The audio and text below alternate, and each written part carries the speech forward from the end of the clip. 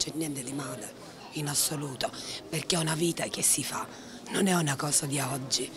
È il primo anno e allora lo sai, una cosa nuova, una cosa che non è stata mai fatta, ma è stato sempre fatto in tutti i luoghi, in tutti i posti. È già capitato non solo per la festa di Santa Barbara, ma per qualsiasi altra festività. Ci siamo, eh, si sono accorti ecco, di questo evento soltanto ora, in quella casa, con quella famiglia, con quella persona, ma non è il solo in, in questa situazione e non è il solo ecco, nel ricevere questi omaggi. Nel... Ce ne sono stati quindi degli altri?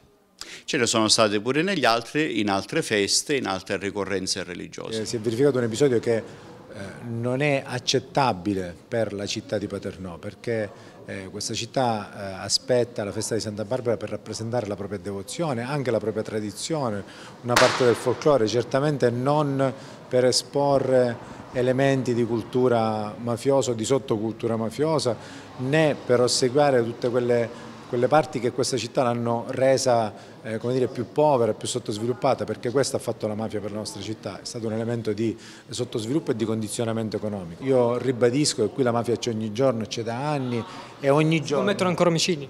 Esatto, l'anno scorso si è commesso un omicidio, voglio dire...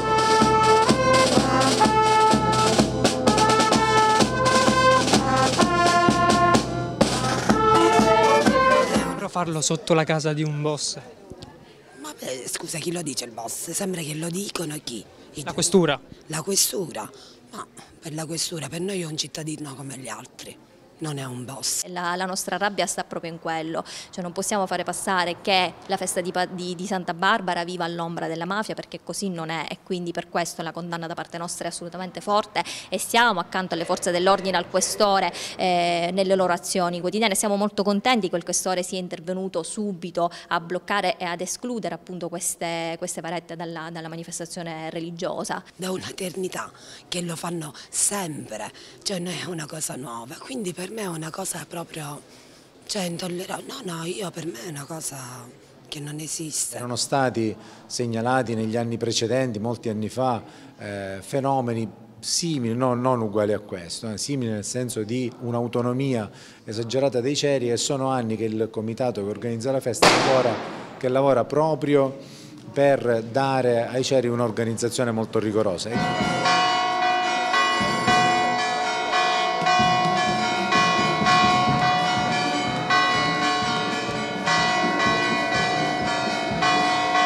La mafia ha una religiosità sua, sono delle persone ecco, che eh, vivono la dimensione della propria religiosità ecco, in un modo fai da te.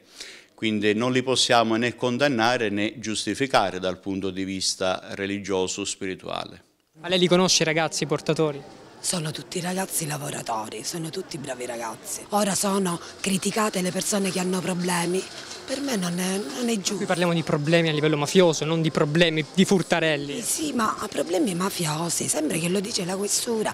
Per noi sono persone normali, hanno i suoi problemi purtroppo. Voglio dire, però sono stati discriminati. Cioè, per quale motivo? Mi vengono a sparare Aspetta, scusa, l'intervista